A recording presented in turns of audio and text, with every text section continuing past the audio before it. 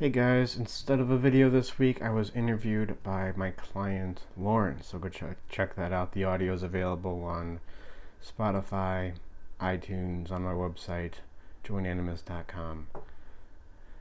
Next week we have a presentation. I don't plan out too far in advance for this channel, but next week I'm doing a presentation on exposure therapy and how it's not really wrong necessarily, but just kind of a you know, exposure therapy, the idea that if you have a fear, fear you, you simply confront the fear and you overcome it. How that's not really wrong, but it's kind of like a, a low resolution way of viewing the problem. So that's coming up next week. Thank you guys. Check that out, that interview. Links in the description. I think I said that. And I'll talk to you next week.